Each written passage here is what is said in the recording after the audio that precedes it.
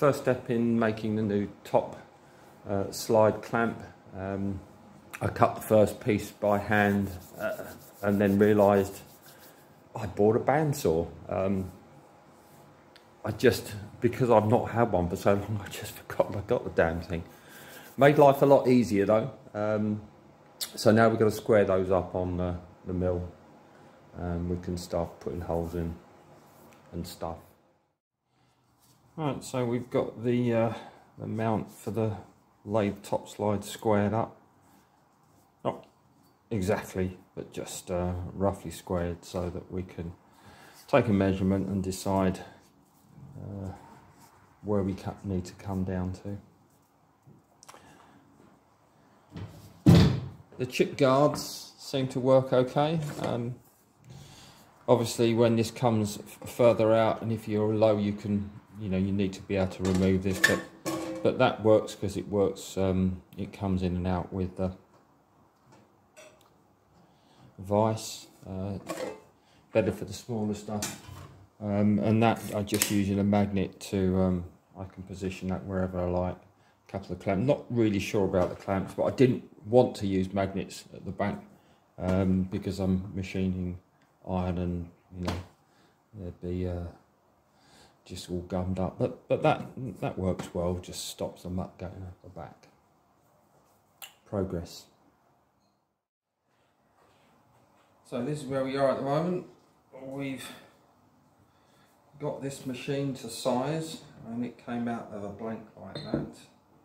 Um, much bigger than was required that way but I got a deal on three pieces of the same size. Uh, at a significant discount so um, it was worth it. It could uh, give the mill a good run as well. Hate machining cast iron, goes everywhere. So now we've got to put the, the four holes in and some uh, reliefs so that I can get the spanner in. Um, that's the next job. One of the issues with machining cast iron is the chips go everywhere. Um, the chips guards work really well, but bounces. Um, a bigger issue is the dust, and uh, you really need to be wearing a mask. One of the things that I've found very useful is um, put some a couple of magnets uh, near the head or anywhere near the machine in a little plastic bag and you'd be amazed at how much airborne um, cast iron dust uh, is attracted to those magnets and that's, that's dust that um, would otherwise be floating around and settling on stuff that you don't want it to settle on. In case you're wondering, uh, this is the puppy I use to do most of the machining on that. 50 mil. Um, I didn't push it. I could take a um, millimeter cut quite happily um, if I took it easy. Millimeter is probably um, the limit though. Um, it was it was happier at 0.6 of a mil. Machining the fixings holes. Um, the radius there just happens to be a handy um, 25, so I'm using a, a 50 mil shell mill. Um, it's coming out okay. I, have roughed it out with a an end mill first because this thing just throws chips everywhere. So I'm just using that to, to finish it down and, and, and come out. So these are two are done just got to whiz it round and do the other two. Now, unfortunately we skipped ahead a bit because I lost some video. Uh, apologies for that. Um, but what we did was, first of all, we use a 50 mil shell mill to take these corners out. Um, then I chain drilled some holes around there to make life easier to, to cut that out. I only went halfway through leaving that. Did the same for the bottom half. and this making this little spigot up and that held everything on the rotary table in in the right position and last of all just cut that out and finish that off. Um, next put a 4 mil round over on these edges.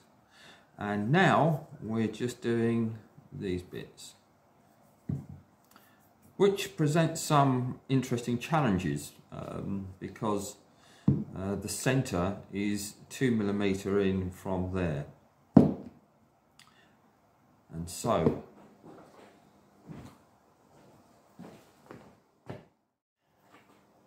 so first things first need to center the rotary table. And it is actually centered now that is spooky because I haven't touched it. Not... there you go. Yeah no that's um that's pretty good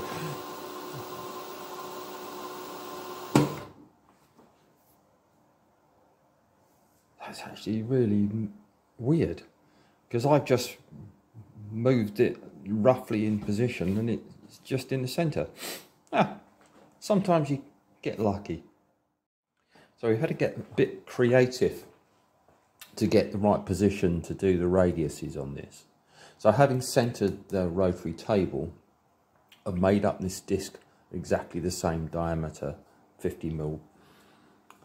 And then with that in position, I can push this up and clamp that.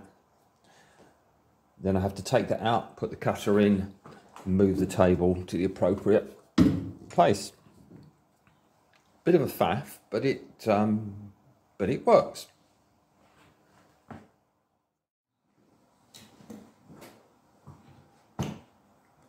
So that's all the, the rounding over done.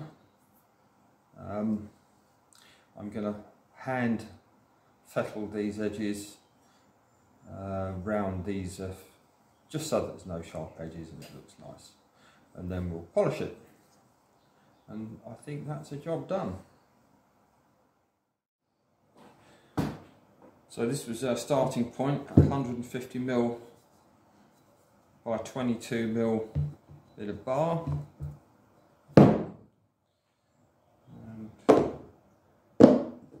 of that we've got. That. Which is really quite satisfying. Just waiting for the bolts I've made the T-nuts up and then we can um, get it fitted. So this piece replaces that much thicker, much beefier. That's fine. But I realised that this is located with a little spigot which actually looks like it's cast. None of that looks like it's machined. But it would actually be quite useful since I've got slots that this could be positioned anywhere along the top slide, the cross slide.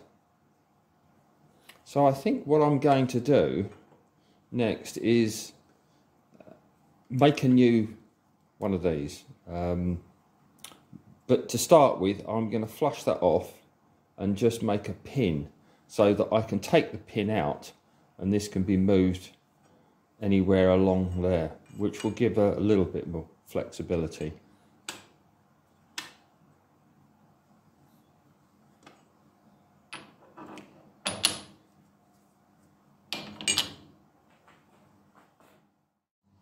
Hmm. Well, remember me saying I was going to flush that off and make a peg and put it into there so that I could take it out and slide it along. Hmm. That's fine in theory, but to do that, I need to put it in the chuck. And of course, without this, I have no top slide. Oh. Anyways, it's clear from the marks on here and on here I've just stoned that, that this is not flat. It's only touching at the edge. I've, I've stoned this and made it flatter, but it's still really not flat at all. So I think I will make another one of those. All this work here is all about transferring energy and vibration from the tool through to the bed. The weakest point is always going to be the, the, the, the cross slide, um, the top slide, sorry. Um, but having good contact here is important to transfer that energy down into the, the mass here. And without, with only a couple of mil around the edge, that's not going to that's not to work for me. So I think that'll be it for, for now. And we'll, so we'll have to get some material and make one of these up and make it properly flat so that I get really good contact. And that, say, will transfer all that energy back into that mass. So finally, that's the uh, puppy installed. Um, so replacing that, which I didn't like because it was really quite thin there and only had two fixings. Um, it's solid enough. I was a bit concerned that this was going to bottom out because I had to clean up the ring, but um, it is still clamping on the ring. But I will have to make a new ring when I get some material because it's it's not flat and it's it could be better, but that'll do for now. It's better than it was.